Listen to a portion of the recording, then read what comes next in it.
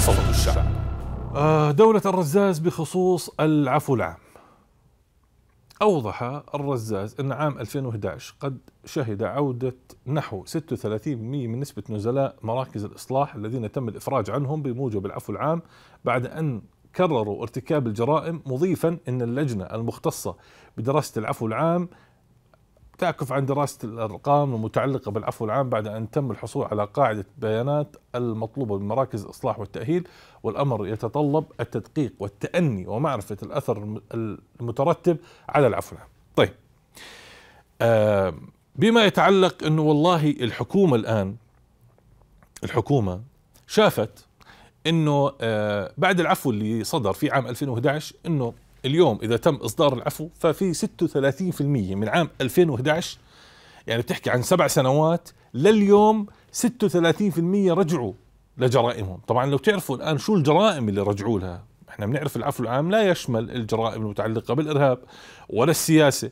ولا جرائم القتل ولا ولا الاخره كانت تتعلق بالمخالفات وبالغرامات وممكن في الأمور المالية وبعتقد المالية ما شملتها. طب انت حاط كاميرات بالشوارع وقاعد الله بيعلم شو بتحط غرامات ورسوم وبتضيق على المواطن الأردني بطريقة خانقة. وكنت تتوقع إنه تجي النتيجة صفر للأشخاص اللي أنت عفيت عنهم بموجب القوانين والعفو العام اللي صدر؟ بصراحة نحكيها كمواطن أردني أنا كنت بتوقع تكون النتيجة 90% من الأشخاص اللي طلعوا يرجعوا مرة ثانية. والأسباب الظروف الاقتصادية السيئة اللي بنعيشها اليوم. واللي بخليك تضحك أكثر وبيستفزك أكثر كمواطن أردني إنه الحكومة بتقول لك من عام 2011 36% أشخاص كانوا يعني محبوسين أو كان عليهم قضايا تم الإعفاء عنهم عادوا لجرائمهم. أما كل هالحكومات اللي بعدها مستمرة بضغط المواطن وبهدلة المواطن وسرقة المواطن وتدمير المواطن عادي. مية بالمية كل حكومة بتزيد المديونية على البلد عادي. مية بالمية كل حكومة بتذل المواطن عادي. ما قلت إنه هالحكومات السابقة رجعت مية بالمية إذلال المواطن الأردني وهذا الشيء ما أثر عليكم. وحاولتوا قدر الإمكان ما ترجعونا الوزراء اللي كانوا أول ما ترجعونا بعض رؤساء الوزارات اللي كانوا أول واللي أبوه فلان واللي خاله فلان واللي عمه فلان. هذا الشيء ما أثر. لكن أشخاص كانوا محبوسين على بعض القضايا. وممكن هذه القضايا رجعت مرة ثانية عليهم بعد فترة تسوية وما استطاعوا إنهم يعملوا تسوية للظروف الاقتصادية السيئة اللي بتعيشوها فيه بقول لك لا. طيب أنا بدي أعطيكم مثال أسهل وأبسط. إحنا كأردن ليش إملاءات صندوق النقد الدولي؟ لأنه قاعدين نقترض مصاري ومش قادرين نسد الفوائد. طب أنت كأردن وكحكومة بتقيس على حالك وبتقول طبيعي وبتذل المواطن الأردني بتدفعه وبتقيم عنه دعم الخبز وبترفع عليه الأسعار وبترفع عليه المحروقات وبتسرق منه بتسرق منه كحكومة بتسرق المواطن الأردني وبتوكلي حقه. وبتقولي عادي. ليش؟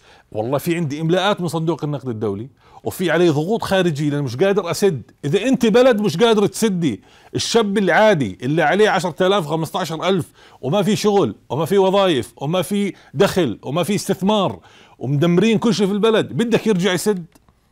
قيس على حالك بالأول وبعدين قيس على المواطن الأردني العادي. فبنسبة 36% أنا شايفها نسبة رائعة. الأصل فيكم تفكروا في العفو العام أسرع وأسرع. لا لجان فنية ولا شيء. بلشوا يشتغلوا على الأسماء وقروا المواضيع. لكن يعني أنا بشوف الحكومة بتصنع شيء في إيدها وبتحاسب الناس عليه بطريقة ثانية. زي ما بتقبل على حالك اقبل على المواطن الأردني. المواطن هو خير ما تملك.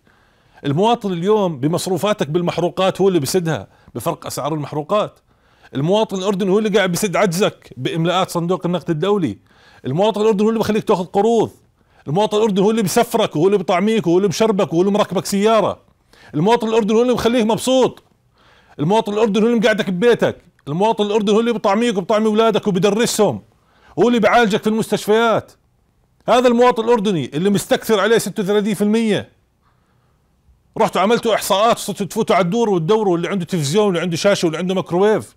عشان تعملوا والله إنه بلدنا كويسة. إذا واحد متدين له ب 1000 دينار أجهزة كهربائية ضربتوها عليه الطاقه مضاعف نظرتكم للبلد مختلفة.